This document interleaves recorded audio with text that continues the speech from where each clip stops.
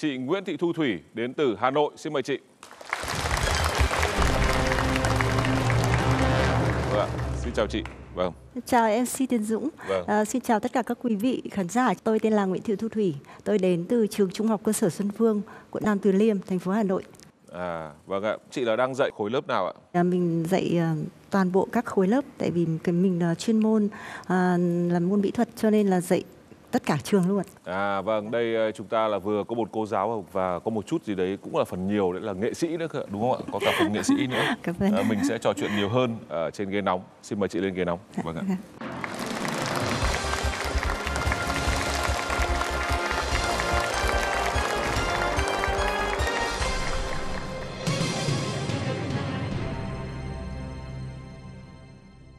Ngày trước là chị Thủy học ờ, sư phạm hay là học mỹ thuật ạ?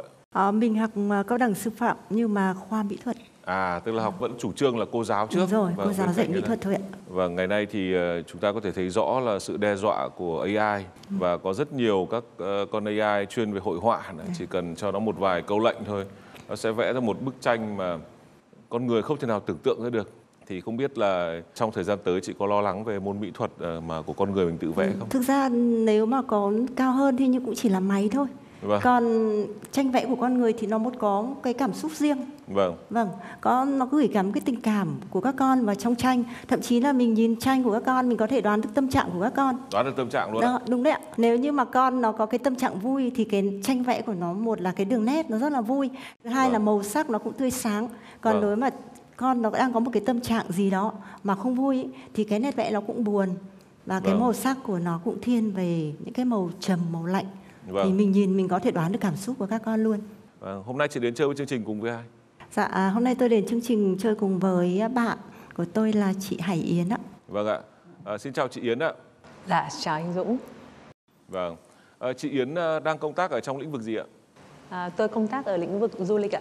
Vâng, vậy là chị Thủy là mang đến một cuốn cẩm nang về các địa điểm du lịch trong và ngoài nước. Đấy, cụ thể đây là chị Yến. Chị Yến sẽ là một phần hỗ trợ của chị Thủy. Khi nào chị Thủy cần đến thì em mời chị Yến xuống dưới đây để hỗ trợ chị Thủy ạ. Vâng ạ, tôi Vâng. sẵn sàng. Vâng ạ, cảm ơn chị. Vâng. Vâng, chị Thủy thân mến, sau đây em sẽ thông qua với chị luật chơi của chương trình. Chương trình của chúng ta có tất cả 15 câu hỏi, trong đó có 3 mốc quan trọng.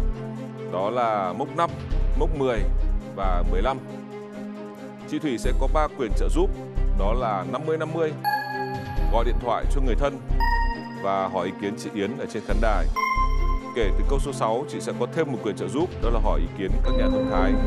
Ngày hôm nay chúng ta có sự trợ giúp của hai nhà thông thái là nhà báo Vũ Quỳnh Hương và siêu trí tuệ Việt Nam Hà Việt Hoàng. Chúng tôi xin phép được kết nối cùng với hai nhà thông thái ạ. Xin chào nhà thông thái ạ. Xin chào anh Dũng, xin chào chương trình và xin chào khán giả trường quay ạ.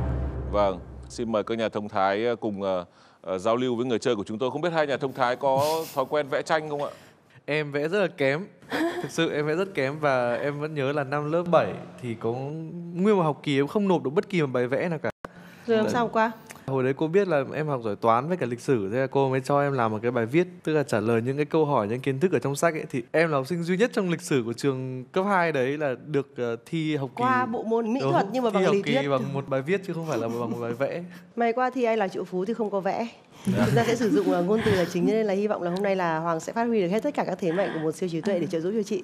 Dạ, rất mong được sự ờ, trợ giúp của hai nhà thông thái ạ. Xin trân trọng cảm ơn ạ. Vâng ạ, cảm ơn các nhà thông thái. Mọi thứ sẵn sàng rồi, chị Thủy sẵn sàng chưa ạ? Dạ, sẵn sàng rồi ạ. Vâng ạ. Thưa quý vị, khi người chơi của chúng ta đã sẵn sàng, chúng ta sẽ cùng nhau đi tìm ai là triệu phú.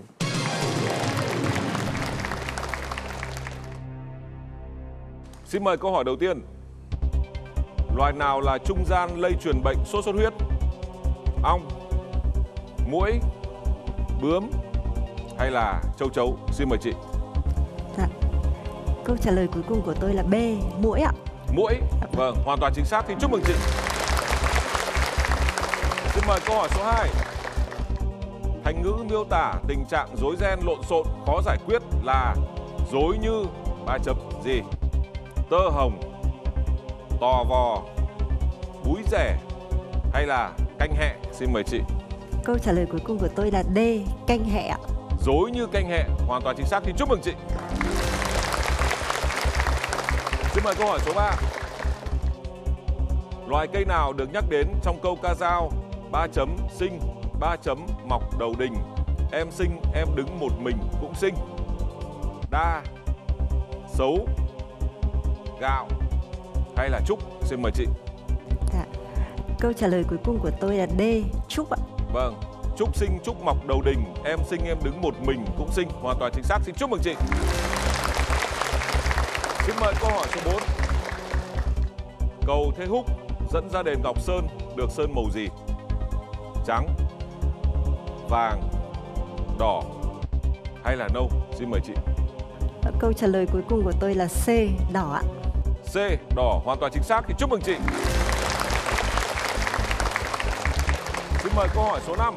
Đâu là tên một loại bệnh phổ biến trên cây lúa? Đạo mạo, đạo hàm, đạo văn hay là đạo ôn? Xin mời chị. Dạ. Câu trả lời cuối cùng của tôi là D, đạo ôn ạ, bệnh đạo D. ôn ạ. Vâng, phương án D là phương án chính xác thì chúc mừng chị.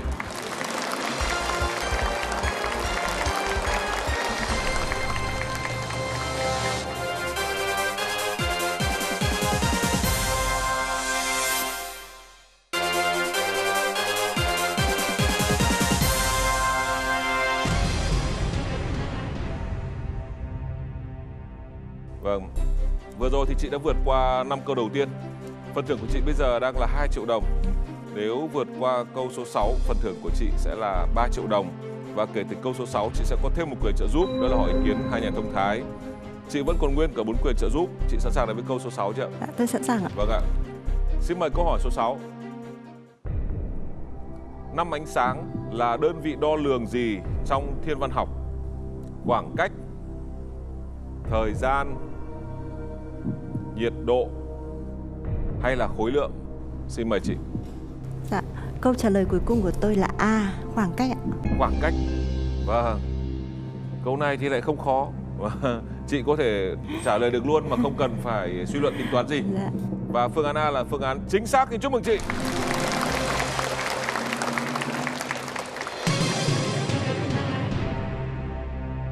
Chị đã vượt qua câu 6 rất dễ dàng. Phần thưởng của chị bây giờ đang là 3 triệu đồng. Nếu vượt qua câu số 7, phần thưởng của chị sẽ tăng lên 6 triệu đồng và chị vẫn còn nguyên cả 4 quyền trợ giúp. Chị sẵn sàng đến với câu số 7 chưa? Tôi sẵn sàng ạ. Vâng ạ. Xin mời câu hỏi số 7.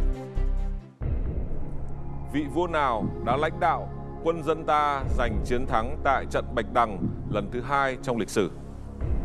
Ngô Quyền, Đinh Bộ Lĩnh, Lê Hoàn hay là Trần Nhân Tông? Xin mời chị. Ngô Quyền đánh à, quân Nam Hán ở trên sông Bạch Đằng. Tôi nghiêng về phương án A là Phương án A Ngô nhiều hơn, Quyền. đúng không ạ? Dạ, vâng. Tôi ờ, xin sử dụng quyền trợ giúp gọi điện cho người thân ạ. Gọi điện cho người thân, chị sẽ Dạ. gọi điện cho ai? Tôi sẽ gọi điện cho bạn đồng nghiệp của tôi là cô Vũ Thị Năm. Vâng, cô có dạy về lịch sử không ạ? Cô không nhưng mà sẽ có đội quân ở bên cạnh ạ. À vâng. Chúng tôi xin phép được kết nối cùng với chị Năm ạ.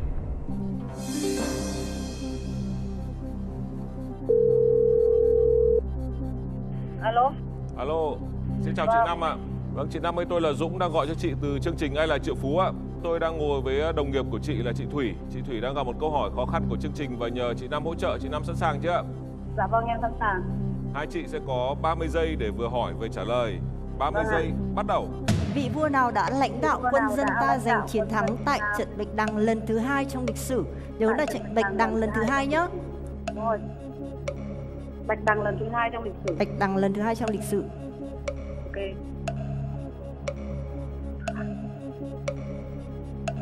vị vua nào đã lãnh đạo 9 giây hưng 8 đạo đại vương trần quốc tuấn Rồi. Không có ở trong Đinh Bộ Lĩnh Trần. Tôi xin ờ, sử dụng một quyền trợ giúp nữa. Sử dụng quyền trợ giúp Đó nữa. là trợ giúp mà hỏi hai nhà thông thái ạ. Hỏi hai nhà thông thái. Dạ. Vâng, chị dùng đến hai quyền trợ giúp ờ, rất mạnh ở trong câu này. Chúng tôi xin phép được kết nối cùng với hai nhà thông thái ạ. Chào nhà thông thái ạ. Vâng, người chơi của chúng tôi đang gặp một câu hỏi khó của chương trình và quyết định nhờ hai nhà thông thái. Hai nhà thông thái sẵn sàng chưa ạ? Chúng tôi đã sẵn sàng. Vâng ạ, hai nhà thông thái và người chơi sẽ có 30 giây để vừa hỏi vừa trả lời. 30 giây, bắt đầu. Vị vua nào đã lãnh đạo quân và dân ta giành chiến thắng tại trận Bạch Đằng lần thứ hai trong lịch sử? trận bạch đằng lần thứ hai ạ Ngô Quyền. Trận ngô Bạch lê Đằng lần thứ nhất. đinh bộ lĩnh hay trần nhân tông? Trận Bạch Đằng Lê lần thứ nhất là năm 938 là Ngô Quyền, trận Bạch Đằng thứ ba năm 1288 là Trần Nhân Tông. Còn trận Bạch Đằng thứ hai là vào năm 981 và vị vua lãnh đạo là Lê Hoàn. Lê Đại Hành. Phương án C ạ. Dạ. Ờ, Xin ờ, cảm ơn hai nhà thông thái ạ. Vâng. À, như vậy là tôi đã được sự trợ giúp của hai nhà thông thái và đáp án cuối cùng của tôi là C. Lê Hoàn ạ.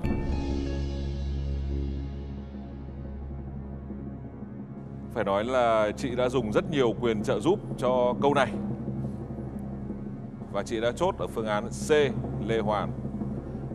Nhưng phương án chính xác của câu này lại sẽ có sau ít phút nữa.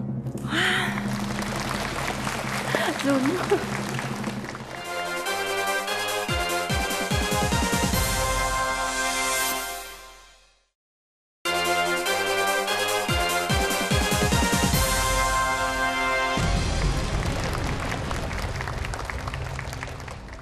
Chào mừng quý vị đã quay trở lại với chương trình Ai là triệu phú. Người chơi của chúng tôi vừa phải sử dụng tới hai quyền trợ giúp rất mạnh, đó là gọi điện cho người thân và hỏi ý kiến các nhà thông thái để cuối cùng chốt ở phương án C, Lê Hoàn. Chị tin tưởng tuyệt đối vào các nhà thông thái và niềm tin của chị đã hoàn toàn chính xác. C là phương án chính xác. Thì chúc mừng chị.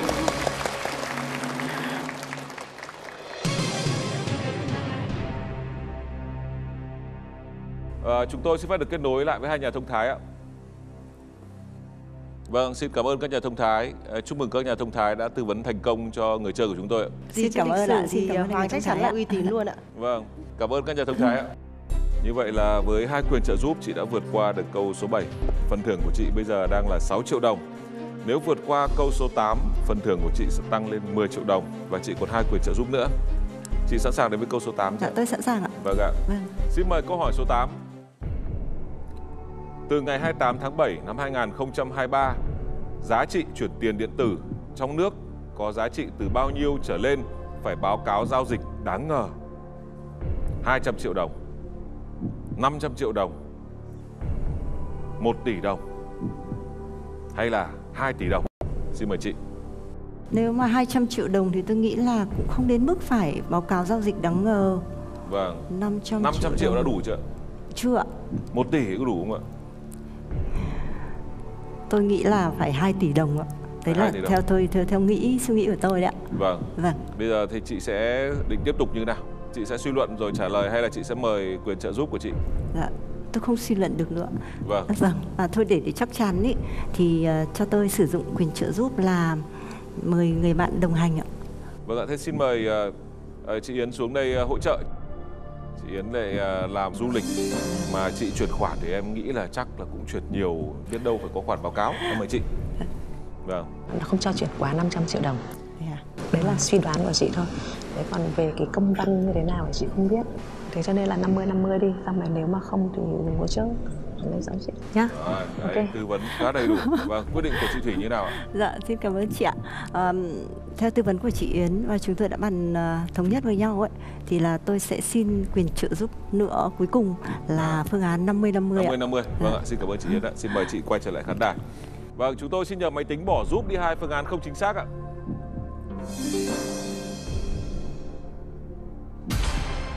Rồi, bây giờ chỉ còn 200 triệu đồng và 500 triệu đồng. Dạ vâng. Thế thì ừm, tôi ờ, xin ờ, chọn đáp án B là 500 triệu đồng ạ. 500 triệu đồng. Dạ. Vâng. Ờ, giải lớn nhất của chương trình có 250 triệu cho nên là chúng tôi nói thật là khi nói đến 500 triệu bản thân tôi giận cũng run. Vâng. Và phương án B là phương án chính xác thì chúc mừng chị.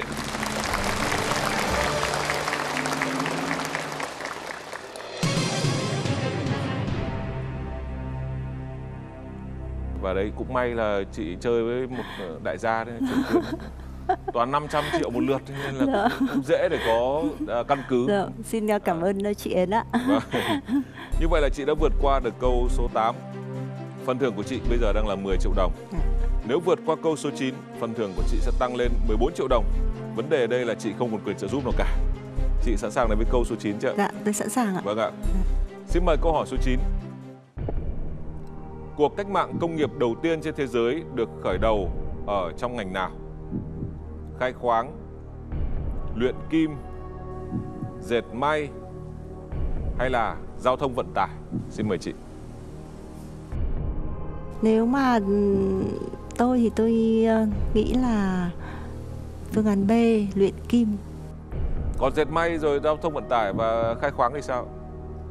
khai khoáng thì cũng hơi có lý một chút còn À. dệt may và giao thông vận tải thì tôi không không không nghiêng về ạ dạ vâng Vâng. Thường là câu 9, câu 10 là câu khó rồi. khó Vâng, bây giờ chị có hai lựa chọn. Một là chị chọn dừng cuộc chơi, chị Dạ. sẽ cầm phần thưởng 10 triệu đồng về và mình trả lời thử một ờ, phương án nào đấy ở câu số 9 cho vui. dạ Hai, chị chọn một phương án nào đấy mà chị nghiêng về nhiều ở câu số 9. Nếu đúng, chị lên mức thưởng 14 triệu. Nếu sai, chị về mức thưởng 2 triệu. thì hôm nay tôi ờ, đầu tiên là xin cảm ơn các quý vị khán giả đã cổ vũ nhiệt tình cho tôi Vâng. và lựa chọn cuối cùng của tôi là xin dừng cuộc chơi ở đây ạ Xin dừng cuộc chơi tại đây. Vâng, chúng ta dành tới chị một tràng pháo tay. Nào, bây giờ chị em mình thoải mái rồi. Dạ. Vâng. Chọn thử cho vui xem chị có vượt qua được câu số 9 của chương trình không ạ? nếu mà chọn thì tôi sẽ chọn là à khai khoáng ạ Khai khoáng. Thực ra lựa chọn ờ, chính xác của chị là lựa chọn dừng cuộc chơi. À. Bởi vì phương án chính xác của chương trình là C, dệt may, chứ Dạ. không phải là A, khai dạ. khoáng. Nên Dạ chị vâng. dừng cuộc chơi là chị bảo toàn được phần thưởng là rất Dạ. tuyệt vời. Thực ra ấy, trong quan niệm phương Đông nói chung thì người thầy, người cô thường được ví von với hình ảnh là không bao giờ sai cả và thầy cô là biết tất, biết mọi thứ. Không Thế biết nên là không phải ai cũng sẵn sàng đi thi một chương trình kiến thức để thấy rằng cái việc là kiến thức nó là mênh mông và Dạ. mình còn phải học rất nhiều và có rất nhiều điều mình không biết. Dạ. Vâng và cảm ơn chị rất nhiều đã đến tham dự chương trình ngày hôm nay. Chị sẽ ra về với phần thưởng là 10 triệu đồng. Xin cảm ơn chị. Vâng, xin xin mời chị. cảm ơn ạ